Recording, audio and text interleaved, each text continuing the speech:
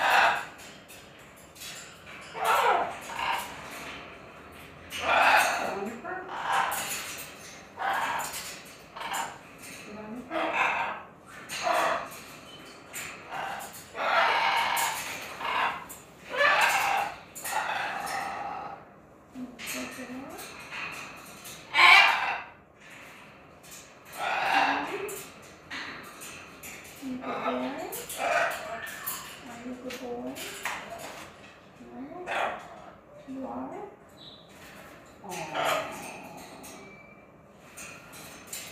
그리고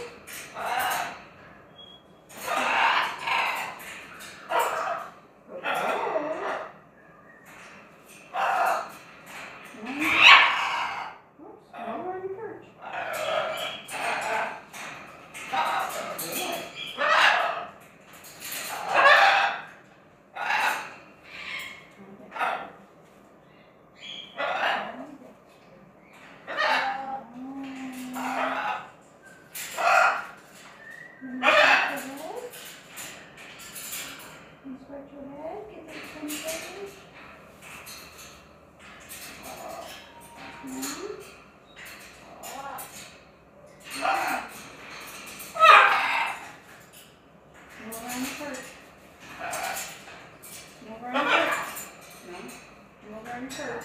Good boy. No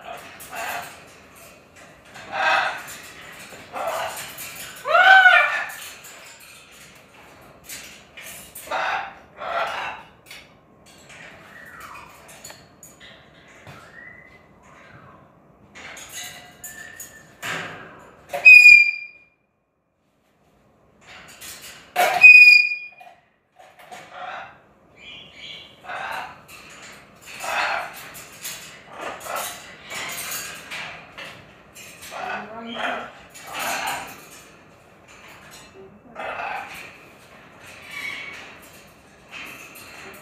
Wait. Want one of these? Try one of those?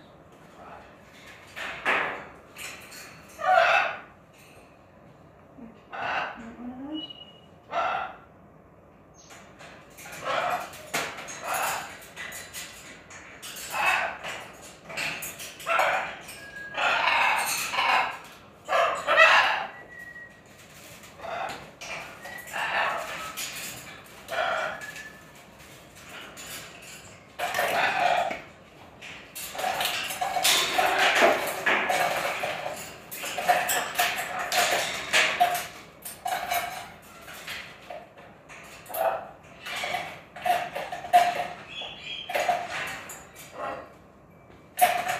I'm about ten feet away from him. Uh, no, six feet away from him. I'm. I'm gonna go around the corner, see if he calms down.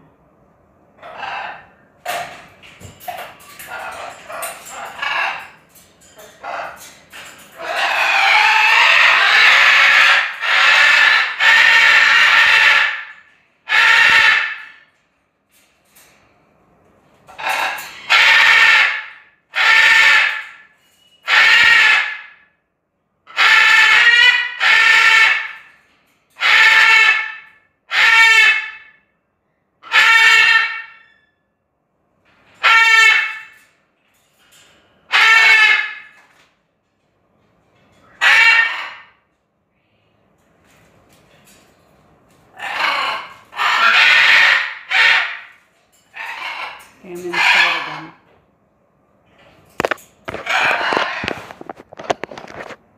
So, I'll be right back. I'll be back.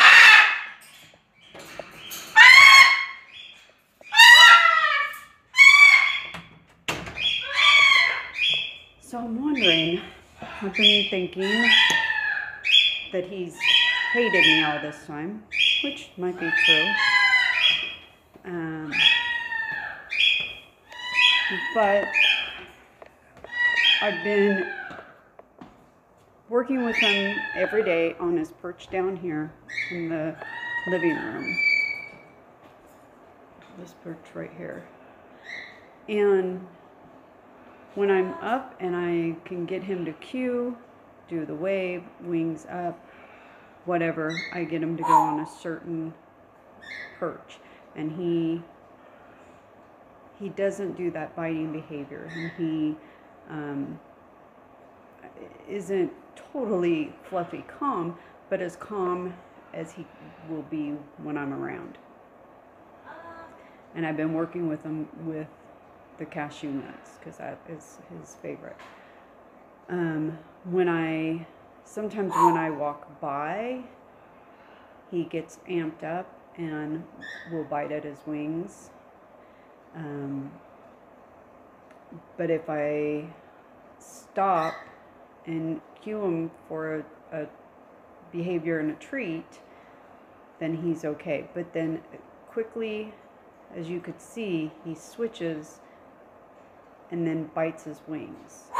And then I try to cue him to do something in order to replace that behavior to then be able to give him a treat. So he's not ending on a biting behavior. I don't know if that is correct thing to do. um, also, we have put up barriers. There is a, a black sheet that is between them upstairs. I don't know if you could see that in the video, but between the male and the female, there is a black sheet barrier where they cannot see each other, they can hear each other, but they cannot see each other. And we have the same thing down in our living room hanging. I don't know if, if it's even visible. Where is that wire? I don't know if you can even see it, but there is a wire that goes from the railing up there and attaches. You can see the curtain right there, and you can barely see the wire. So when we're down here, I shut that off because I sit over there and what I was doing was just shutting it off between so he could not see the female. Which he did. He looked, kept looking around. He was amped up a lot because he could still see me and me sitting there. And he took him a long time to calm down. Whereas normally when he you know, when even when he could see the female, he would kind of calm down. Now, if I would touch the female or in, interact with the female, he gets all amped up. But he was still pretty amped up just being able to see me. So last night I did shut it off to where he can't see me, which he did. He kept trying to peek around it, but he actively keeps looking for me and even doing behaviors um, talking like bye bye and and looking at me and doing like a peekaboo or or doing behaviors to get my attention. So does he hate me or does he want my attention? What do you think?